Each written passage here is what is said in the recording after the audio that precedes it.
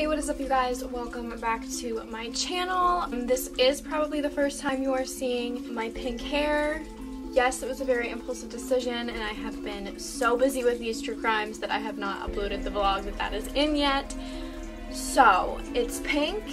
Anyway, welcome back to another true crime. This one is the second to last one. This one is for Friday and it is so creepy you guys. It's probably one of the my favorites from this week because it is just so crazy and genuinely sounds made up. Like it sounds fake because it's so creepy. But without further ado, let's just get right on into the video. So today we're going to be talking about Anatoly Moskvin. And this did happen in Russia, so I just apologize if I am pronouncing everything wrong in advance.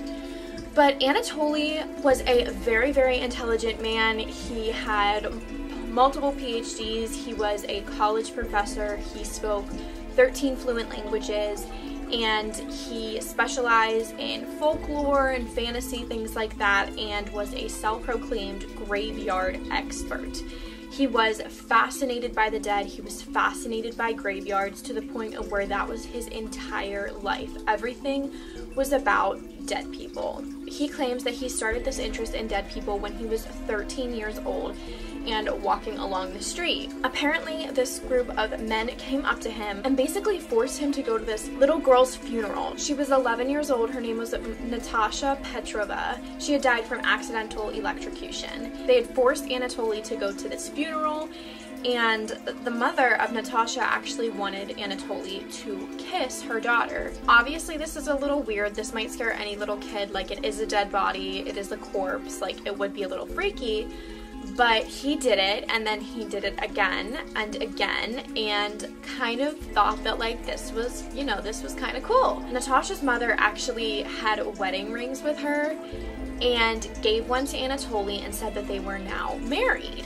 Um, and i do want to preface that this story is told by anatoly so it could be a big fat lie and it could be 110% the truth. I really have no idea. It's all kind of just his word. But basically, after this had happened, he started getting these dreams that Natasha was in. And it got to the point where he was having them every single night. He couldn't sleep. He wanted rid of them. They had taken him to the doctors who weren't doing anything and he was just kind of starting to get a little creeped out by these dreams because he really felt like she was visiting him. He felt like it was real more than beyond just a dream. Apparently, Natasha's ghost or whatever she was in the dream told him that if he could get someone's tooth and give it to her, she would go haunt them instead of him. And apparently, he got this kid's tooth who he didn't like in school and offered it to Natasha and the dreams went away. Um, again, I don't know if I really believe that. I would really like to know how you get your enemy's tooth. I don't think I could do it. I don't know many people who could, but according to him, he did. So after that, he was obsessed with anything dead, with corpses, with people who had died, with graveyards, with coffins. He was just totally infatuated by this and he really started dedicating his life to it. So like I said, when Anatoly got up into his adulthood, he was very, very intelligent. He loved to read. He was very well educated. He had multiple degrees.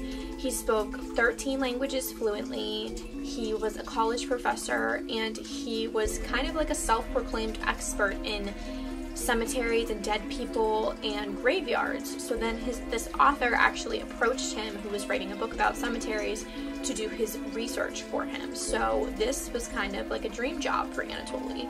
And he spent every single day in graveyards and cemeteries. He would study the people there, their lives before, when they died, he was obsessed with it. I believe he walked over hundreds of cemeteries. He would walk up to 20 miles a day and instead of going home, he would actually sleep in the cemeteries. He would drink the like the puddle water to feel more close with like the earth and like where he was at. On one occasion, there was actually a coffin for a funeral the next day, but there was no body in it. And he was like, okay, like perfect, here is a bed. And he actually slept in the coffin. So then in 2009, people started kind of seeing that their loved ones graves kind of looked like they were being messed with, looked like someone was digging by them, and were kind of becoming concerned. So obviously they were reporting these offenses to the police and nothing super exciting was really coming from it. And this went on for two years actually of people reporting that their loved ones' graves had been messed with or tampered with. So then in 2011, police were actually investigating a different crime. People were vandalizing the headstones of Muslim people who had died. And they were investigating this and because people, you know, did think Anatoly was a little weird. He had been caught in graveyards before by police and they would suspect him of messing around with the graves and after he would say his credentials and that he was working, they kind of just brushed it off. But he was kind of someone that they wanted to look into for the vandalism of these headstones. They ended up actually going back to his apartment. Eight police officers went back with Anatoly to his apartment and as soon as they walked in, they could smell just dead bodies, like dead, rotting bodies. So when the police got there, there were these human dolls everywhere. Some of them were dressed in vintage clothing, some of them had knee-high boots, some of them had makeup on, some of them looked more like dolls than others. And obviously the police were a little creeped out by this. They just thought it was like a weird collection until one of them actually went up and went to touch the doll. And it started playing music. That's when they kind of realized that Anatoly had been grave robbing and taking these dead bodies back with him and turning them into dolls. They had discovered that these dolls were actually the dead bodies of girls he was grave robbing. They asked Anatoly and he actually confessed like that, that yes, these were real people and he had said that he loved them and he was so lonely that he knew that they were calling to him and they wanted to be taken from their grave and warmed back up and he would actually keep them at the graveyard after digging them up and preserve them with salt and baking soda to help them from decaying bring them back to his apartment, which I just think that's like super interesting. Think of the amount of work it would go to to dig up a grave and then take the body back home with you. Is uh, does anyone know? I should have looked this up. I just thought of this. I don't. I think only in the U.S. it's a thing to bury people six feet underground.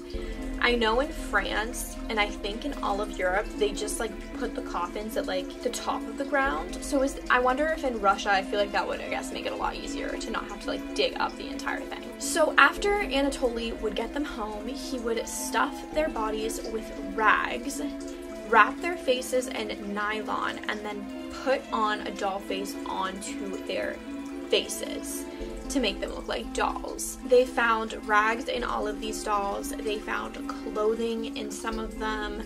They actually found their own headstones in some of them, pieces of their headstones, and in one of the bodies, they found a dried human heart.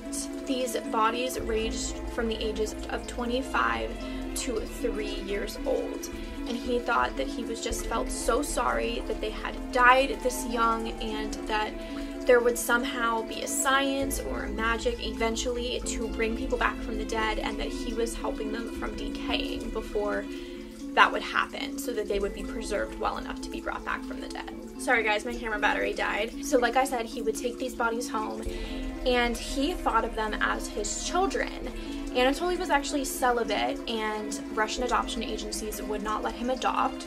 So this was his very creepy way of having kids. They he celebrated holidays with him, he celebrated birthdays with them he really thought that they were his children. They found 29 human dolls in his apartment and some of them were actually in his like trash cans out in their garage.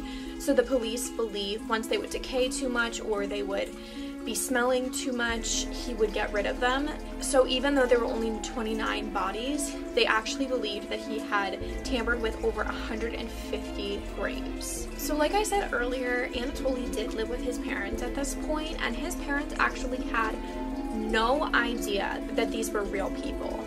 They just thought that they his their son had a creepy doll collection. His dad ended up having a heart attack after he found out and his mom had to be hospitalized due to shock. So I really don't think they were lying. I mean, that is just above and beyond for them to be lying about it. So even though Anatoly really hadn't committed any crime to a live person, he obviously was charged for this. He was charged, I believe, with over 40 counts of 11 different crimes. But after he was taken into custody, he was diagnosed with schizophrenia and they ruled that he was not well enough to stand trial.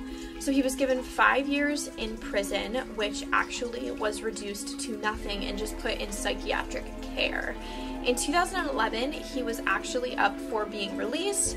They thought that he was good to go. I do believe that this got overturned and I do believe he is still in the mental hospital. I believe he's around, I'll double check, but I believe he's around like 45. I think he's in his 40s right now. Who knows if he will ever be released a lot of the families whose children or whose loved ones were dug up think that he should have gotten life imprisonment. Some think he should have gotten the death penalty. When he was receiving his sentence, he actually turned back and looked at them and told them that he loved them and gave them a better life than they ever could. That they had left their daughters out in the cold to rot and he had brought them home and warmed them up and loved them. And one of the families actually thanked him for this. They said that he had given their daughter a great afterlife and she had given been given more of a life in the afterlife than she ever had when she was alive, which is just, I mean, like, ugh, so weird. But like I said, he was up for being released into home care and out of the hospital in 2011 but he was not released. So I do still believe that he is in psychiatric care in a hospital. Who knows if he will ever get released. In my opinion, I don't think he should ever be released. He got to the point where he was so good at digging up these people's graves that he could make it look like no one had ever touched them. So I definitely think that he could go back to doing this. But that is all the information I have for Mr. Anatoly. Let me know what you guys think of this case. This case is so weird so spooky. I don't know. Let me know what you guys think. I think this is so weird, so creepy, like I've said a billion times. But that is all the information that I have for you guys today. So stick around for tomorrow's video, which is the little finale of our spooky week. Um, whatever you know we want to call it. If you have any suggestions, please leave them down below because I definitely want to do this again next year. Thank you so much for watching, and I will see you in my next video.